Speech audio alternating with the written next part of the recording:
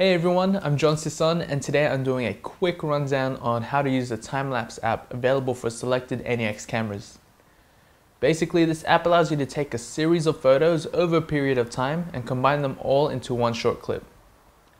It's a great feature to have and I sort of wish the alpha cameras had this feature, but it is a welcome addition on the NEX lineup. Uh, in this demo, I'll be using the NEX-5R and at the end of the video, I'll show you a few short clips that the time-lapse app created.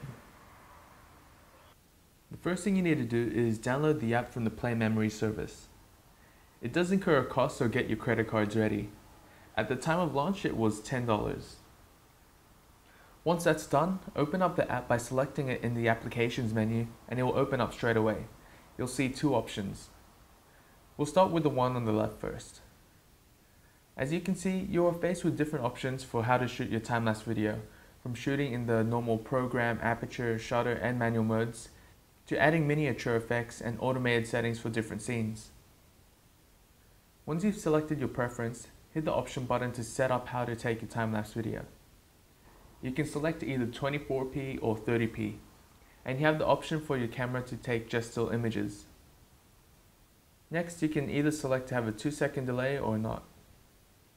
And then you have the option to select the intervals in which you take your photos. And lastly, the number of photos you take. As you can see, the most you can take is 990 shots. It also has a timer on the bottom right hand corner indicating how long the shoot will last for, which is very handy if you want to organize your time. Once that's all set up, you just need to press OK, press the shutter button to start your time lapse, and wait till it's finished.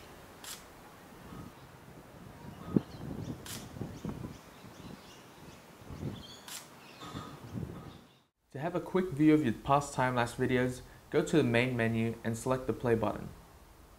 Note that this is just an image index and not the whole video.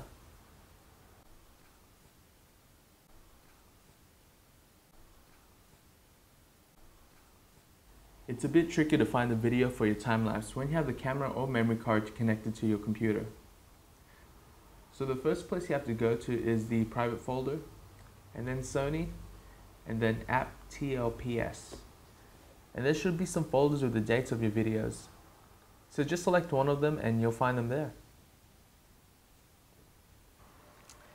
It's a great app that allows time-lapse photography to be even easier for the user since you don't have to do anything in post and it's all done inside the camera.